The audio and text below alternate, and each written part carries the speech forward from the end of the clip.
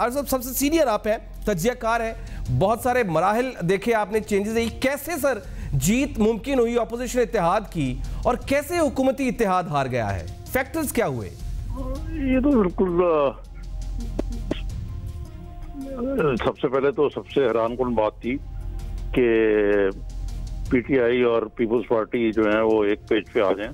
کیونکہ ایک دوسرے کے بڑے متحارب اور کرٹک قسم کی سیاسی جماعتیں تو یہ ان کو کس طرح آگے آگے؟ ایک اور دوسرا یہ کہ فاٹا کے ارکان بھی مل گئے، جتنے آزاد بلوچستان سے ارکان ہیں وہ بھی مل گئے۔ اور زرداری صاحب نے جو وعدہ کیا تھا یا دعویٰ کیا تھا، وہ پورا کر دکھایا کہ سینٹ کا چیئرمین جو ہے ہمارا ہوگا۔ اگر جو ٹیکنیکلی شاید ان کا ایکسکلوزیو تو نہیں ہے، لیکن ظاہر ہے ان کے الائنس کی کا تو ہے۔ تو اس میں کلیدی رول جو ہے، وہ ایک مائنس نواز شریف فارمولا جو ہے، وہ بنا اتحاد بنا، کیونکہ عمران خان صاحب کو یہ مائنس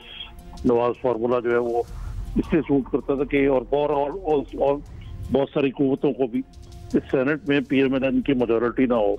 اور اگر ایسا ہوا تو شاید اس کے بعد کے جو ریبیکیفیکیشن ہے وہ کوئی اچھے نہ ہو اور اس لیے یہ بھی کہا جاتا ہے کہ اسٹیبلشمنٹ کی بھی ان کو کچھ نہ کچھ ٹیل ونڈ جو ہے، حاصل تھی جس کی وجہ سے یہ سب لوگ جو ہے اکٹھے ہو گئے۔ ایک نقطے پہ کہ جی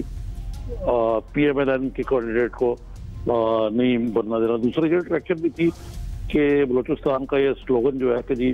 چھوٹے صوبے سے ہونا چاہیے، اس میں بھی ایک یقیناً میرا خیال ہے کہ کوئی نہ کوئی اٹریکشن ہوگی، جس کا وجہ سے یہ لوگ اکٹھے ہو گئے۔ لیکن بنیادی طور پہ بات یہی ہے کہ یہ بہت بڑا اپسٹ ہوا اور یہ پی ایم ایل این کی بہت بڑی سیٹ بیک اور شکست ہے۔